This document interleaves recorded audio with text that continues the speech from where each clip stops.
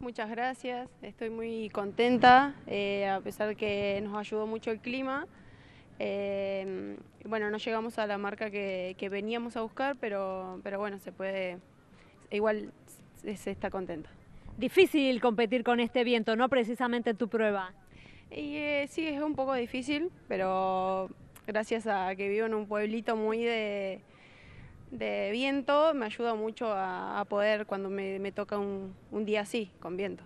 ¿Qué es lo que significa para vos ganar un nuevo título nacional en absoluto? Y todo suma, la verdad que para mí es un orgullo seguir representando a, a mi, a mi pueblito que es Picún Leufú, que siempre está ahí el, apoyándome y bueno, nada, estoy muy contenta.